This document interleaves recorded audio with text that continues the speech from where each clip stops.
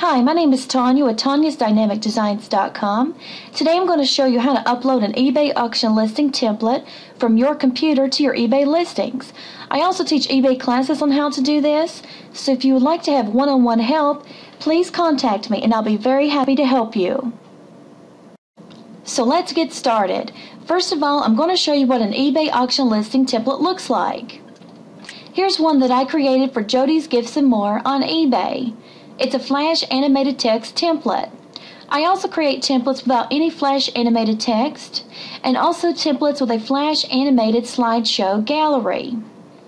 Here at the top, we have the banner with the store name. Then directly under the banner are 14 store page link buttons. Now, when I create an eBay auction listing template, I will usually put either 7 or 14 store page link buttons on it. It's totally up to the client. Now with store page link buttons, buyers can click on any of these buttons in order to navigate to different parts of an eBay store, which are really wonderful. Directly under the buttons, we have the item description area. Now under the item description banner is where sellers can add unlimited images. And then under the images is an area to add the item description. Now on the item description, it's very important to add lots of keywords here. Also, if there are any flaws in the item that you're selling, it's a very good idea to list that here as well. For example, let's say you're selling a shirt and it has a torn spot on it. You want to make sure that you mention that in your item description. Also, take a close-up picture of that torn spot and include that in your template. That way your buyers know exactly what they're buying.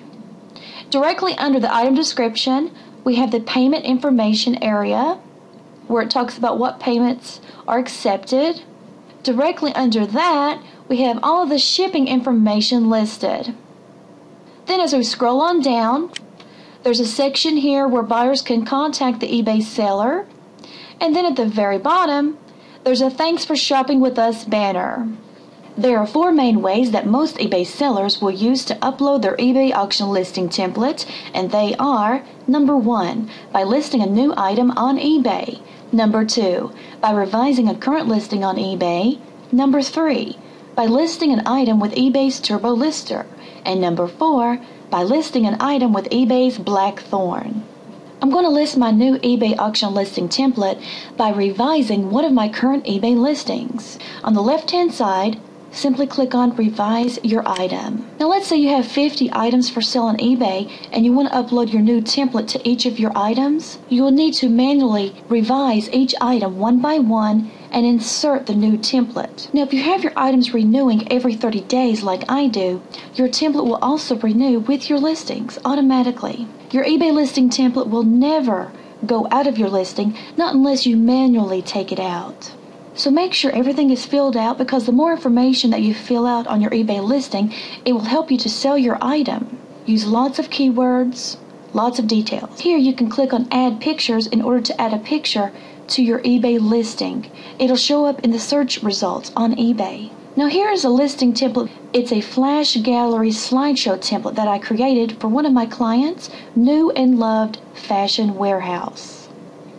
Now the first thing that you need to do, you need to take the item description out and save it on a separate notepad because I'm going to use this in just a minute. So I'm going to highlight all of this text as you see here, then right click with my mouse, click on copy.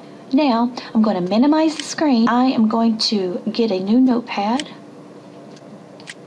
and click on paste.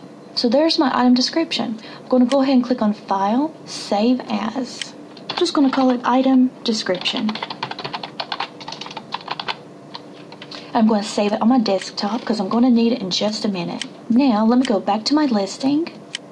Okay, I've saved my item description. Also, if you have any images on your old eBay listing template, it's a good idea to save those images on your computer. I would also recommend that you upload all of your images to the items that you're selling to photobucket.com. It's free. So let's go ahead and take this code out. First of all, click on the HTML tab, just like I did.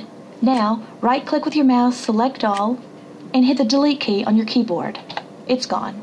Now, let's go get the HTML code for our new eBay listing template. I'm going to minimize this screen. Now here is my new template.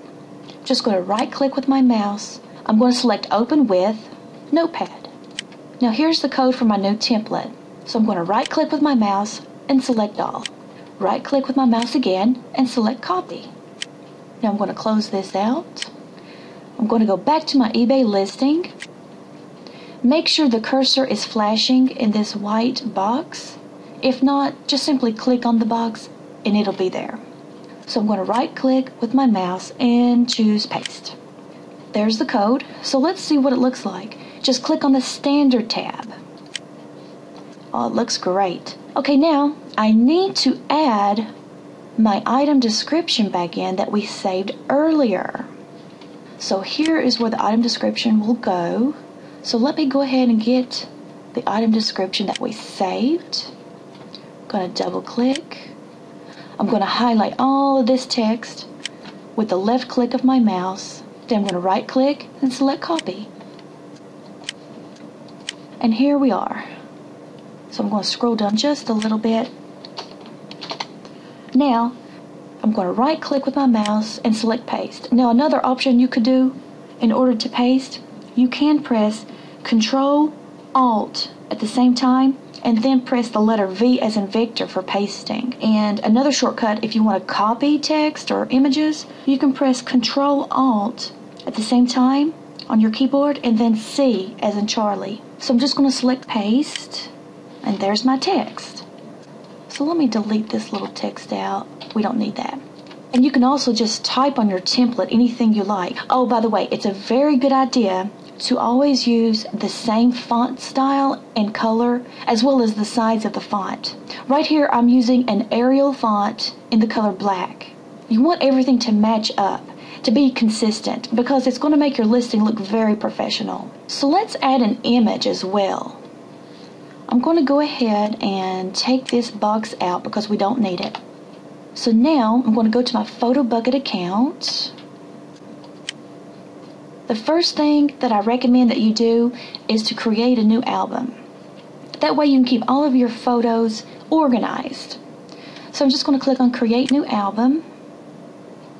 And I'm going to call it eBay listings. I would also recommend that you make your photo albums private, that way no one can view your images. So let's create album, okay. And now just click on the green button here that says select photos and videos. I'm going to go to my desktop and I'm going to select this image here. I'm just going to double click and it's uploading. Great. You can select upload more if you like or just view album. So I'm going to select view album and here's our image. Now, do not click on the image. What you need to do is just take your mouse and hover over the image and then it's going to pop up the links, okay? Now we need to get the direct link. So just take your mouse. When you left click with your mouse, it's going to automatically copy this link and that's what we want. So I'm going to left click like that. Okay, great. Now take that link and go to the top of your website browser okay? Now I'm going to delete this link out. I'm going to right click with my mouse and select paste. Or you could choose paste and go. Let's choose paste and go. And there's our image. Now I'm using Google Chrome and I highly recommend that everyone use Google Chrome if at all possible because it's very fast. Now with this image, if you're using a different website browser, you may need to highlight this image with your mouse and then right click to copy it. But since I'm using Google Chrome, I'm just going to put my mouse over the image. I'm going to right click and then I'm going to select copy image. Now let me go back to my listing. Make sure the cursor is flashing right where you want to add your image. Now I'm going to right click with my mouse and select paste. It's that easy. If you want to add more images, I would recommend that you just skip two spaces, and then insert another image like this. That way you have a nice space in between each of your images. Just makes it look a lot better.